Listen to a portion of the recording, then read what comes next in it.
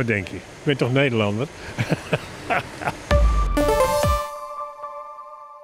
Het bekende tankstation Poppel net over de grens in België krijgt een volledige upgrade. Alleen betekent dit wel dat de deuren voor twee maanden gesloten zullen zijn. Vanaf maandag 4 november is het niet meer mogelijk om te tanken. Zo gaat er een hoop veranderen. We gaan het station volledig vernieuwen. We hebben wat problemen gehad, technisch gezien ook de laatste tijd, maar het station is 30 jaar oud ondertussen.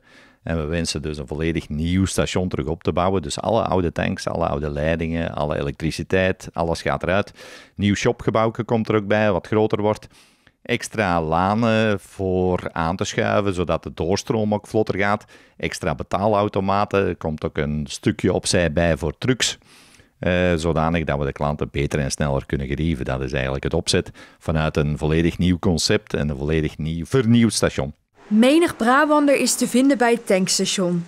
Het scheelt gauw bijna 30 cent met de Nederlandse literprijzen. Ik woon vlak bij de grens en het is hier goedkoper. Ja, gewoon het is kortbij en het is stukken goedkoper als bij ons in Nederland. Het scheelt uh, 50 euro zoiets met twee auto's en twee kannen vullen. Ja, zoals iedereen voor de prijs natuurlijk. Als het tegen zit, staan automobilisten vaak in een lange rij. Dat gaat mogelijk verleden tijd zijn. Elke pomp zal ook een multiproductspomp zijn, zodanig dat je alle producten op elke plaats waar je stopt kan tanken. Nu hadden we vaak voor dat mensen stopten voor een pomp, maar dan bijvoorbeeld 98 benzine moesten hebben en dat was dan weer een andere pomp, moesten ze weer wachten. Dat houdt alles een beetje op, dus we hebben het nu zo geconcipieerd dat alle producten op elke plaats waar je stopt verharig zijn en dat er ook overal een betaalautomaat is.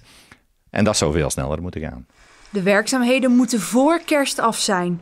Tot die tijd moeten de Nederlanders een ander goedkoop pompstation zien te vinden. Twee maanden. Ja, dan wordt twee maanden doorrijden. op internet opzoeken van de goedkoopste Belgische stations. Dat is een website van. Dan zal ik nog verder België in moeten denken. Want ja, om uh, heel dure benzine te kopen. Dat vind ik toch ook niet zo goed. Dat doe ik dan ook weer niet. Dit is dichtbij. Dit is gewoon voor mij prima te doen. Maar als ik verder moet, dan doe ik het niet. Waarschijnlijk wordt het dan een Tilburg tank omdat het anders te ver weg is.